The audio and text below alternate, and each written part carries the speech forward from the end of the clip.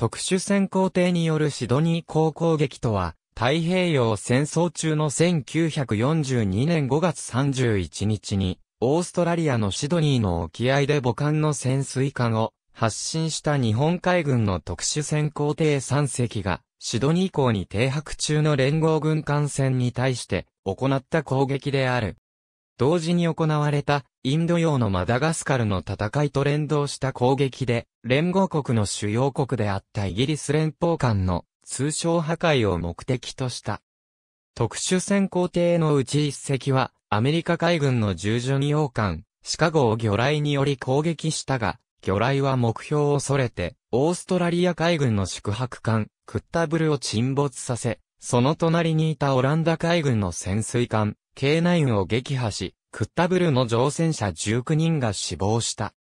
特殊戦工艇は、シドニー湾の南方 40km の地点で母艦に回収される予定だったが、3隻とも帰還できなかった。英国海軍から派遣されていたシドニー地区司令官、ジェラード・ミュアヘッドイコールグールド提督は、戦死した特殊戦工艇の乗組員のために海軍葬を行い、戦死した兵士の遺骨は、シドニーに抗勤中だった日本公使、河合達夫に手渡され、1942年10月に、日英交換戦で、河合公使と共に、日本に戻った。攻撃に参加した潜水艦は、イ21、イ22、イ24、イ27、イ29の5隻で、イ22、イ24、イ27の3隻が特殊戦攻抵抗標的を搭載した。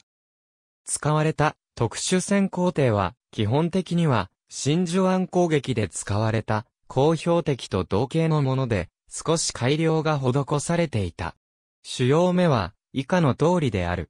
乗員は、以下の通りである。1942年4月27日に、イ21、イ29、同年5月18日朝に、イ22、イ24、イ27がトラック諸島、中久島を出港した。出港当日の夕方、イ24搭載艇が爆発事故を起こし乗員が死傷したため、同艦はトラック諸島に引き返し、乗員を伴え注意らと交代させて5月20日に再度出港した。5月30日に、イ22、イ24、イ27の3隻は、シドニー沖に到着した。着艇したクッタブル1942年5月31日16時21分、イ22搭載艇が発進。続いて28分に、イ27搭載艇が、40分に、イ24搭載艇が発進した。イ27搭載艇は、シドニー港入り口で、防戦網に絡まり、21時30分頃自爆した。次に、イ24搭載艇が、港内に向かい、侵入に成功した。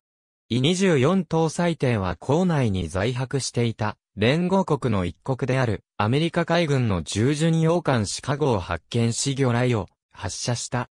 魚雷は2本とも外れ、そのうち1本は岸壁に係留されていたオーストラリア海軍の宿泊艦クッタブルの艦艇を通過して岸壁に当たって爆発した。これによりクッタブルは沈没し19名が戦死した。また、その隣に係留されていたオランダ海軍の潜水艦、K9 も爆発の衝撃で損傷した。イ24搭載艇は、キットシカゴの攻撃による損傷が元で沈没した。最後に、イ22搭載艇が、港内に侵入したが、この時には、警戒が厳しくなっていた。イ22搭載艇は、オーストラリア海軍艦艇からの爆雷攻撃を受け結局自爆し、魚雷は未発射であった。なお、特殊戦工艇を発進させた潜水艦は6月3日まで祈祷を待っていた。自爆した2隻の特殊戦工艇は1942年6月4日、5日に引き上げられ、9日にイギリス海軍から派遣されていたシドニー洋行、司令官、ジェラード・ミュアヘッドイコールグールド海軍少将は、乗員4名の海軍曹を行った。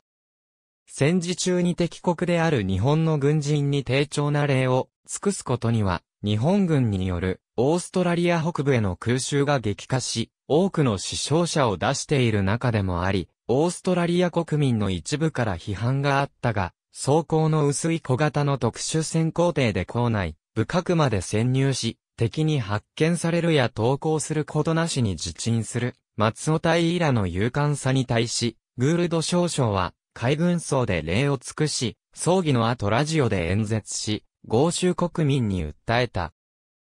このような鋼鉄の棺桶で出撃するためには、最高度の勇気が必要であるに違いない。これらの人たちは最高の愛国者であった。我々のうちの幾人が、これらの人たちが払った犠牲の千分の一のそれを、払う覚悟をしているだろうか。戦死した日本軍の有志の葬儀を、我が海軍層で行うという私に、非難が集中していることは承知している。けれど私は、あえてこの葬儀を実行する。なぜなら、もし我が国の兵士が彼らのように勇敢な死を遂げた場合、彼らにも、また、同様の名誉ある処遇を受けさせたいためである。遺骨を乗せ横浜港に戻った第一次、日英交換船の鎌倉丸戦死した4人の遺骨は、シドニーで拘束されていた、河合達夫中オーストラリア公使に引き渡され、1942年8月16日に、第一次日英交換船シティオブ、カンタベリー号で、メルボルンを出港し、中立国である、ポルトガル領東アフリカのロレンソ・マルケスで、鎌倉丸に乗り換えた、河合公使と共に、同年10月9日に、横浜港に到着した。4人の選手は、当時の日本で美男視されていたが、遺骨の帰還にあたり海軍は、同年10月5日に報道各社に、特殊戦皇帝4有志は、軍神扱いせざることを申し入れた。同年12月8日、山本56連合艦隊司令長官は、ディエゴ・スワレス攻撃部隊と合わせて、感情を与えた。